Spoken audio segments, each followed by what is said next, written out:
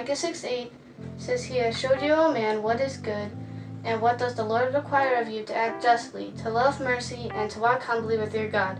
How often we show such concern over the least important things in life and neglect the most important. We worry so much about what others will think or how we will look instead of doing what is right in God's sight.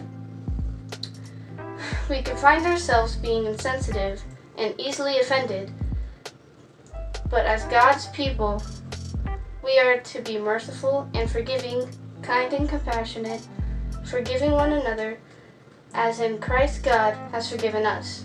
We live in a world where everyone is concerned with themselves, where pride is promoted, and life is a competition.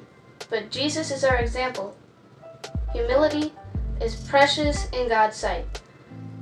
So, may we walk in the footsteps of Christ, be faithful servants, and honor, and honor others above ourselves, living to give God all the glory. May His will be done. In Jesus' name, amen. Smile.